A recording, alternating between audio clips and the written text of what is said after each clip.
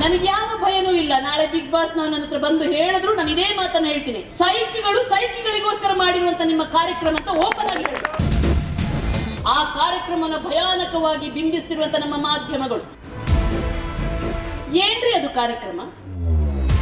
ನನಗೆ ಯಾವಾಗ್ಲೂ ಕೂಡ ಮೊನ್ನೆ ಒಬ್ರು ನನಗೆ ಫೋನ್ ಮಾಡಿದ್ರು ಮೇಡಮ್ ನೀವು ಬಿಗ್ ಬಾಸ್ ಕಾರ್ಯಕ್ರಮಕ್ಕೆ ಬರ್ತೀರಾ? ಅಂತ. ಆಯ್ತಾ ಅಂತ ಕೇಳಿದ್ರು ನನಗೆ. ನಾನು ಅವಾಗ ಫಸ್ಟ್ ಹಿಂಗಂದ, ಮೇಡಮ್, ನಾನು ನಿಮ್ಮ ಅಭಿಮಾನಿ, ನಿಮ್ದು ಯೂಟ್ಯೂಬ್ ಎಲ್ಲ ನೋಡ್ತೀನಿ, ನಿಮ್ದು ಹಾಗೆ ವೈರಲ್ ಆಗ್ತಿದೆ, ಹೀಗೆ ವೈರಲ್ ಆಯ್ತಪ್ಪ, ಆಯ್ತು ಆಯ್ತು, ಅಂತಂದೆ. ಕೊನೆಗೆ ಲಾಸ್ಟ್ ಮತ್ತೆ ಅವನಿಗೆ ಭಯ ಆಯ್ತು ಅನ್ಸುತ್ತೆ, ಕೇಳ್ದ. ಮೇಡಮ್, ನೀವು ಈ ಸಲದ ಬಿಗ್ ಬಾಸ್ ಕಾರ್ಯಕ್ರಮಕ್ಕೆ ಬರ್ತೀರಾ? ಅಂತ ಕಲರ್ಸ್ ಕನ್ನಡದಿಂದ ಅಂತಂದ್ರೆ ನಾನು ಹೇಳಿದೆ ನನ್ನ ಫಸ್ಟ್ ಕ್ವಶನ್ ಇದೇ ಆಯ್ತು.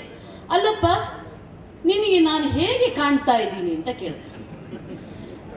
ನಾನೇನಾದ್ರೂ ಮಾನಸಿಕ ಅಸ್ವಸ್ಥೆ ಥರ ಏನಾದರೂ ಕಾಣ್ತಾ ಇದ್ದೀನಿ ಇವತ್ತಿನವರೆಗೆ ಈ ಈ ದಿನದ ಕ್ಷಣದವರೆಗೆ ನನ್ನ ಸ್ಥಿಮಿತ ನನ್ನ ಹತ್ರ ಇದೆ. ನಾನು ಎಲ್ಲೂ ಮಾನಸಿಕ ಸ್ಥಿಮಿತತೆಯನ್ನು ಕಳ್ಕೊಂಡಿಲ್ಲ. ನನಗೆ ಯಾವ ಭಯನೂ ಇಲ್ಲ. ನಾಳೆ ಬಿಗ್ ಬಾಸ್ ನಾವು ನನ್ನ ಹತ್ರ ಬಂದು ಹೇಳಿದ್ರು ನಾನು ಇದೇ ಮಾತನ್ನ ಹೇಳ್ತೀನಿ.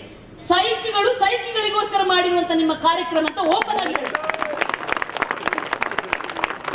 ಮಾನಸಿಕ ಅಸ್ವಸ್ಥರು ಮಾನಸಿಕ ಅಸ್ವಸ್ಥರಿಗಾಗಿ ಮಾಡಿರುವಂತ ಕಾರ್ಯಕ್ರಮ ಅಲ್ಲ ಇದು ಬೇರೆ ಏನೂ ಅಲ್ಲ. ಆ ಕಾರ್ಯಕ್ರಮನ ಭಯಾನಕವಾಗಿ ಬಿಂಬಿಸ್ತಿರುವಂತ ನಮ್ಮ ಮಾಧ್ಯಮಗಳು. ಏನ್ರಿ ಅದು ಕಾರ್ಯಕ್ರಮ? ಏನಿದೆ ಕಲಿಯಕ್ಕೆ ಅದರಿಂದ ನಮ್ಗೆ? ಅಯ್ಯೋ, ನಮ್ಮ ಹೆಂಗಸರು ಕುತ್ಕೊಂಡು ನೋಡೋದೇನು? ಅವರಿಗೆ ಟಿ ಆರ್ ಪಿ ಬರೋದೇನು? ಅಂದ್ರೆ ನಮ್ಮ ನಮ್ಮ ಮಾನಸಿಕ ಸ್ಥಿತಿ ಇದನ್ನ ನಾವು ತಂದು ನಿಲ್ಲಿಸಿದೀವಿ ಮಾಧ್ಯಮದವರು.